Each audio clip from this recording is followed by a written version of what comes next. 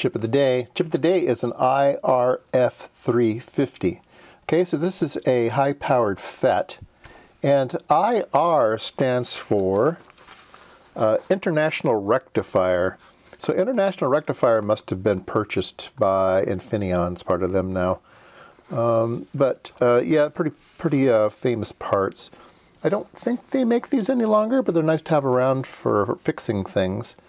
Um, and so I have the um, uh, IFR 350 right, right here. And we'll talk about it, but there's a whole bunch of IRF parts. Um, here's an IRF 450 that I had in my bin. Here's an IRF uh, 260 that I had in my bin. Um, but we'll take a look at these. 1985, so they're fairly old parts. There's much better FETs these days. But uh, like I said, again, it's good to have them for fixing things. Um, so this guy here uh, is in a TO3 package. Now, just a brief mention of TO3 packages. They got renamed to TO 204 AAs, uh, trying to standardize, right? Everybody knows them as TO3s, but I don't think they're used anymore. Um, I think everybody uses these these big packages here. Um, I think they probably have the same heat capability as this, and they're much easier. You can solder them PC boards, and the heat sinks are just flat. It just it seems like it's much easier to to use these guys. All right. Uh, so this guy here is a 400 volt, uh, 14 amp, 0.3 ohms on. Uh, so he's good for switching wacka wacka wacka.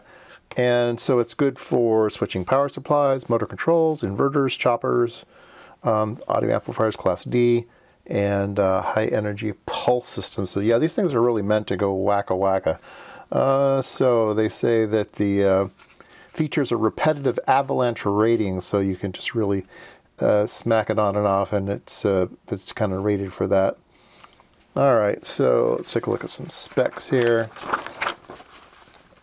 So uh, common specs, uh, 400 volt minimum for 1 milliamp. Uh, let's see here, 0.3 ohms at 9 amps and 0.4 ohms at 14 amps. So there you go. Um, yeah, I guess they, I guess they did, they did a great in the top data sheet, the top data sheet, didn't they? Let's see. Let me go back. Let me go back. No, they did lie. They did lie. So, um, when you read data sheets, you really have to read them closely because the marketing guys get a hold of them and really botch them up.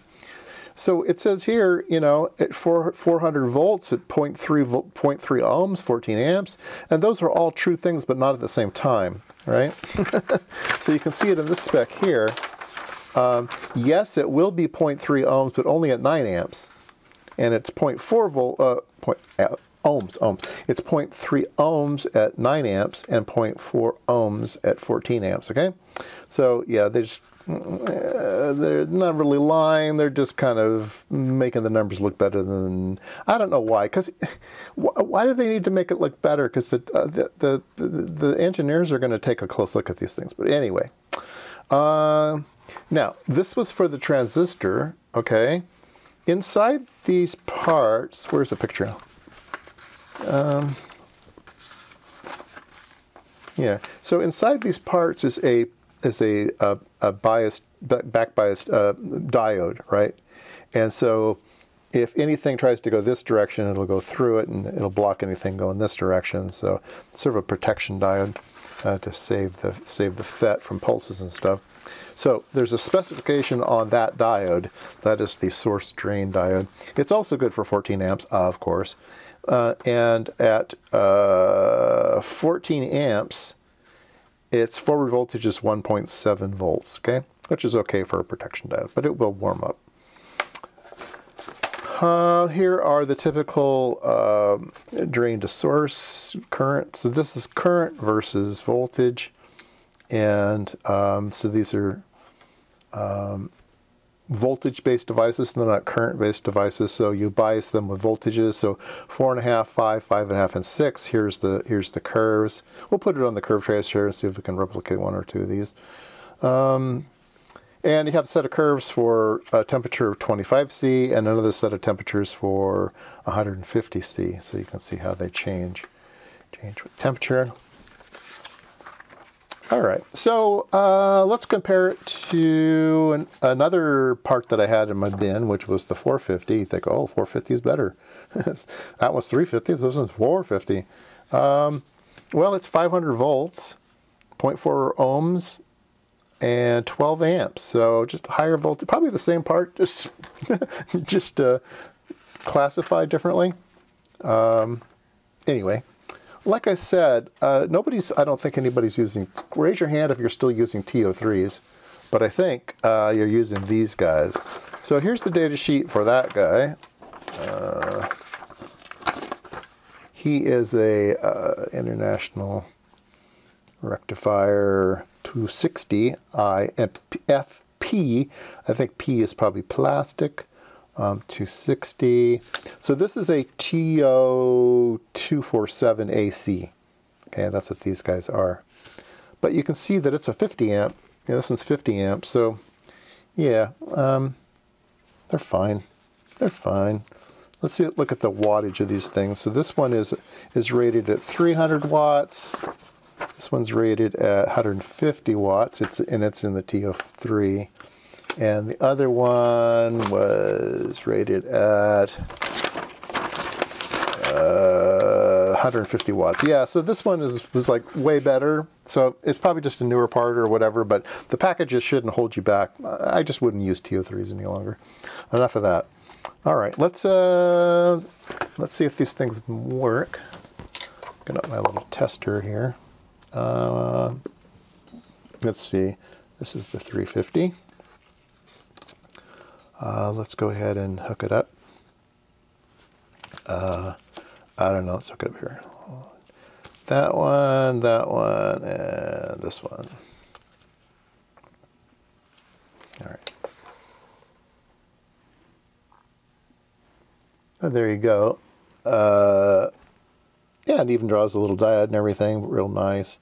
What does it say? Uh, turned on at 3.8 volts had 0.6 ohms on resistance. Yeah, anyway, there you go. Um, let's go ahead and pop one on the uh, curve tracer, right? Okay, I'm going to be using this test socket here, which is a TO66 TO3 dual test socket. And um,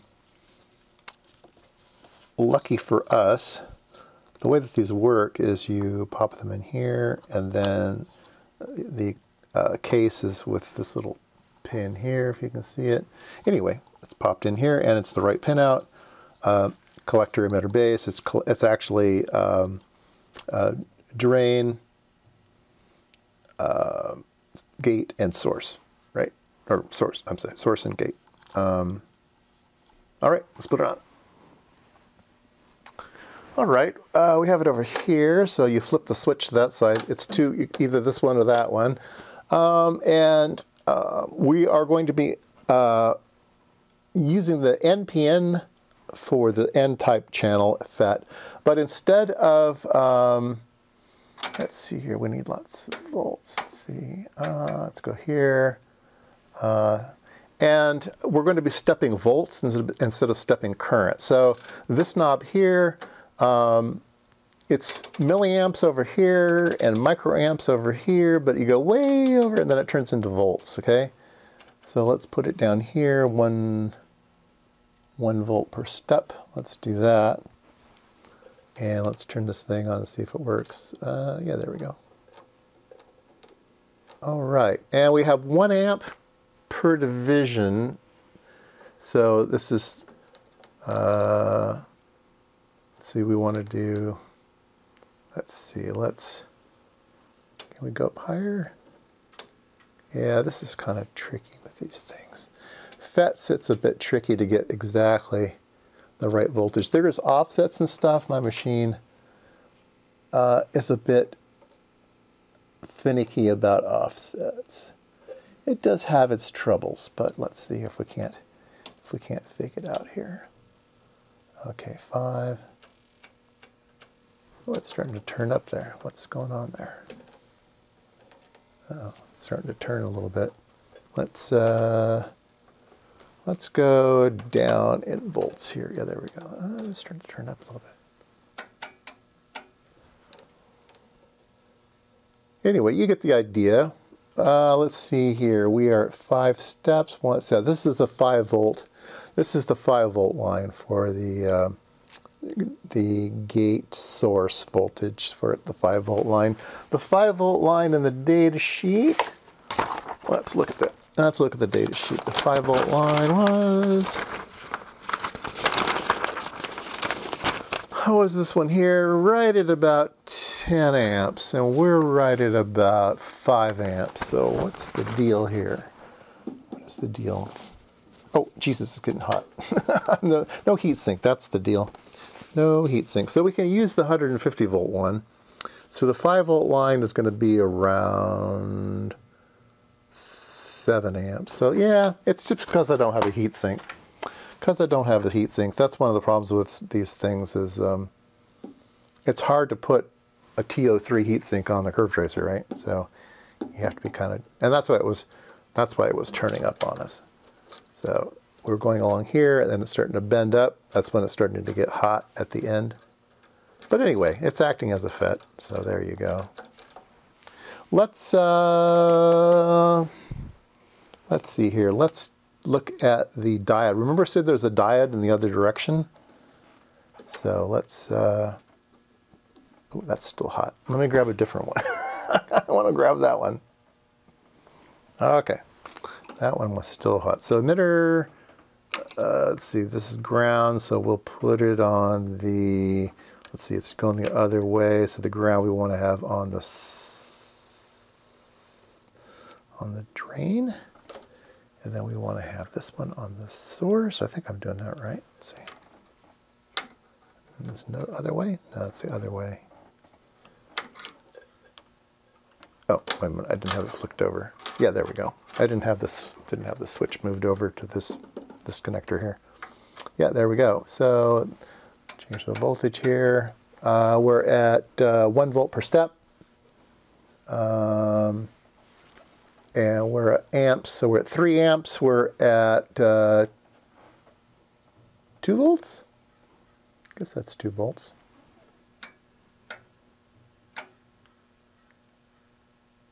Uh, 5. No, we're at 1 volt. Yeah, we're at 1 volt. Sorry. So 1 volt at 3 amps. And if I take it up here to 10 amps, we're at about 1.6 volts, right? So just like the datasheet. A lot of resistance in the, uh, in the diode. I don't know if you're playing along at home, but you remember when I repaired this thing, it didn't match collector base emitter. Two of them were swapped, and it just I couldn't quite figure out why. I may know I may know why. Um, if you are going to test these guys, uh, which is a nice nice for this particular test socket, um, then the pinout isn't isn't correct. You would need to swap a couple of these to uh, to make the pinout correct to test FETs because uh, they are a different. They are different. Let's see here. Here it is. It is a gate gate drain source. Gate drain source. So you can see here the, the gate, it would be the base and uh, drain source. So you'd need to swap collector base uh, in order to test these guys, uh, like a so. And uh, yeah, so maybe that's why it was done, but then they didn't change the label. But it looked like it was factory, so I don't know. I'm still confused. Maybe that they wired it for one particular and they put the wrong label on it. I don't know. Anyway, I digress. Uh, anyway, this was chip of the day. IRF350, plus a couple other thrown in.